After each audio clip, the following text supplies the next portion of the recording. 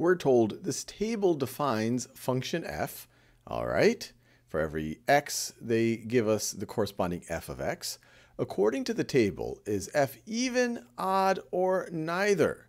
So pause this video and see if you can figure that out on your own. All right, now let's work on this together. So let's just remind ourselves the definition of even and odd.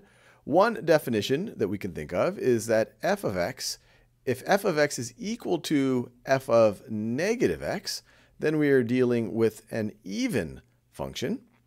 And if f of x is equal to the negative of f of negative x, or another way of saying that, if f of negative x, if f of negative x, instead of it being equal to f of x, it's equal to negative f of x, these last two are equivalent, then in these situations we are dealing with an odd function, and if neither of these are true, then we're dealing with neither. So what about what's going on over here? So let's see. f of negative 7 is equal to negative 1.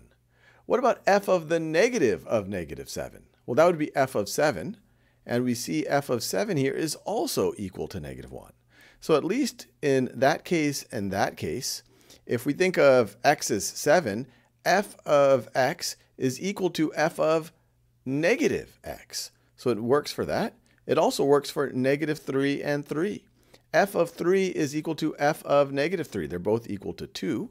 And you can see, and you can kind of visualize in your head that we have this symmetry around the y-axis. And so this looks like an even function.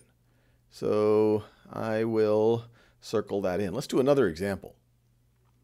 So here, once again, the table defines function f. It's a different function f. Is this function even, odd, or neither? So pause this video and try to think about it. All right. So let's just try a few examples. So here we have f of 5 is equal to 2. f of 5 is equal to 2.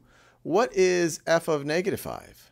f of negative 5 not only is it not equal to 2, it would have to be equal to 2 if this was an even function, and it would be equal to negative 2 if this was an odd function, but it's neither.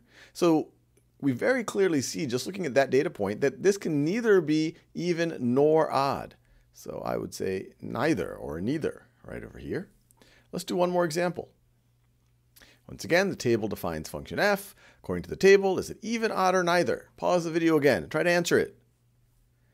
All right, so actually let's just start over here. So we have f of 4 is equal to negative 8. What is f of negative 4? And the whole idea here is I want to say, okay, if f of x is equal to something, what is f of negative x? Well, they luckily give us f of negative 4. It is equal to 8. So it looks like it's not equal to f of x, it's equal to the negative of f of x. This is equal to the negative of f of 4. So on that data point alone, at least that data point satisfies it being odd. It's equal to the negative of f of x. But now let's try the other points just to make sure. So f of 1 is equal to 5. What is f of negative 1? Well, it is equal to negative 5. Once again, f of negative x is equal to the negative of f of x. So that checks out. And then f of 0 well, f of 0 is, of course, equal to 0.